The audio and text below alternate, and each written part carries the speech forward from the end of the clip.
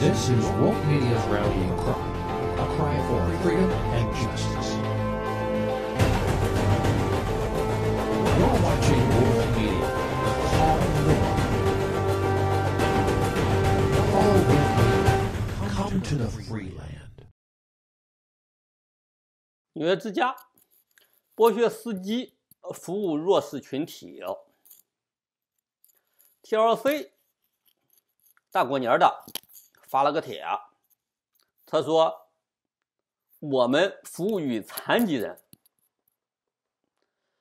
同样的距离，同样的价格。”啊，说的挺好的啊，这好像他 TLC 做了件好事，做了什么好事呢？让残疾人坐车跟普通人一样，同样是从北塞去法拉盛，价格一样，呃，是八块钱，普通人、残疾人也是八块钱。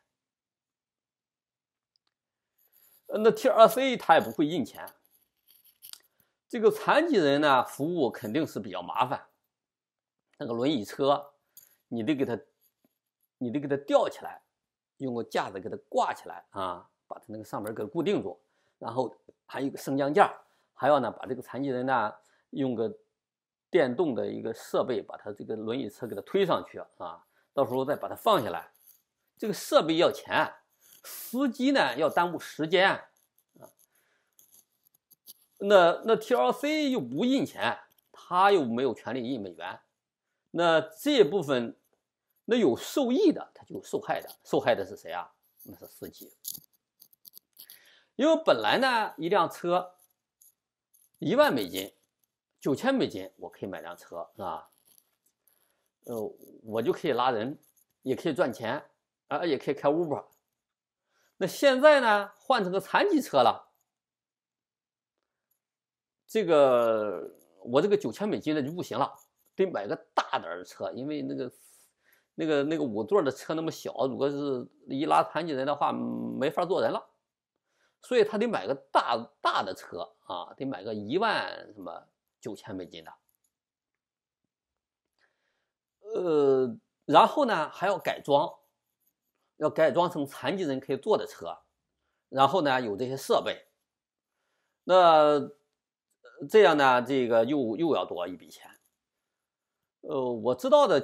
这个价格呢，大概最便宜的有三万三万五千块钱，我知道最便宜的，旧车、二手车啊，新的话四万。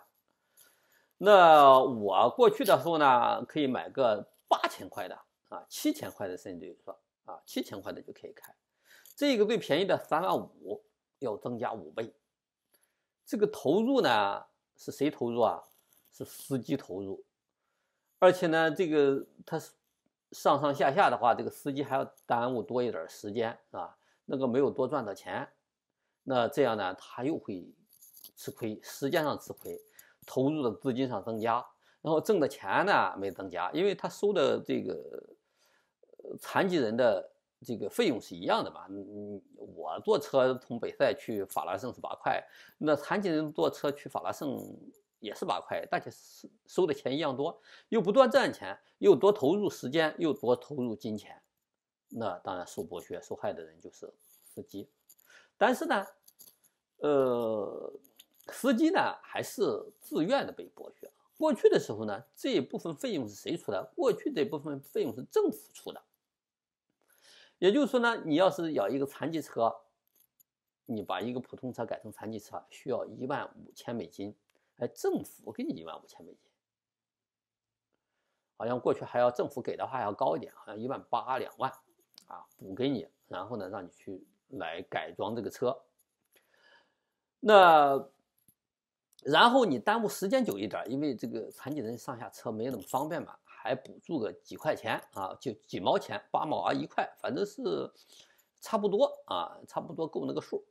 但现在那没有了啊。这样就是政府的税收呢减减去了，司机呢就要承担这部分费用，但司机呢自愿的呢被剥削，原因很简单，就是呢过去我们已经有 T C 牌的车的人就有了，他不能够呢再挂新的了。你新的人再来，新移民从国外国外进来的，刚来的，刚考了 TLC 的，或者是美国人，哪怕是美国人，你过去没考过 TLC 的，你是纽约人没没考过 TLC 的，哎，现在你要跑了，你要挂牌了，那不给你挂了，你只能挂残疾车，否则那你没，要否则你就租车开。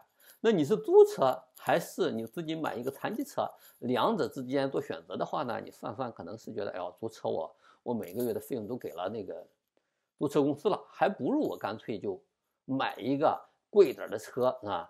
哎，这样呢，这个司机呢剥削呢也是自愿啊。